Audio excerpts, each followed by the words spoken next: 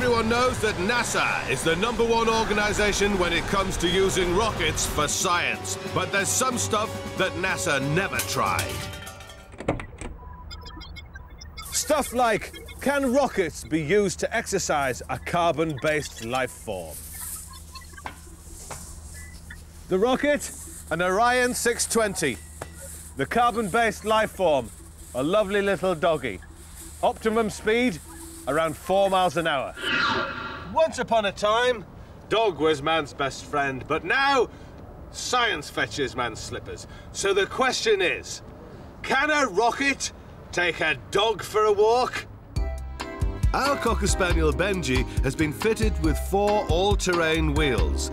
He's been caught short and has to make it to the local park in under five minutes. To achieve this, we've attached this gentle, long-burning rocket here, which should be just enough to drag little Benji here along at around about 100 miles an hour. So there we are, the world's first rocket dog walker. NASA never tried this. OK, Brainiacs, clear the launch site.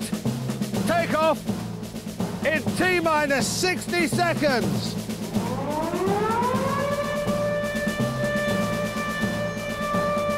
Final checks.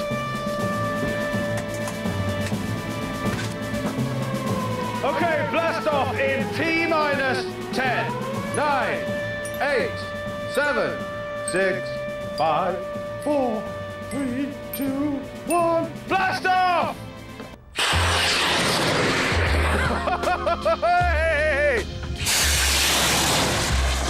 The exhaust flames from our rocket reach temperatures of up to 2,000 degrees centigrade. To protect against any burning, Benji has been coated in fire retardant flea spray. Let's go and see if Benji enjoyed his walk. Well, look at that. The rocket's actually em oh, it embedded itself in the bank and snapped in half. But where's Benji?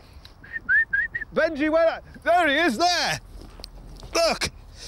Well, he's lost an eye and a leg, but, you know, that often happens when you're walking a dog. Results, please. Thank you. So when man finally uses a pooper scooper on Pluto, you can't say that the brainiac rocket scientists didn't have a little bit to do with that. Take that to NASA.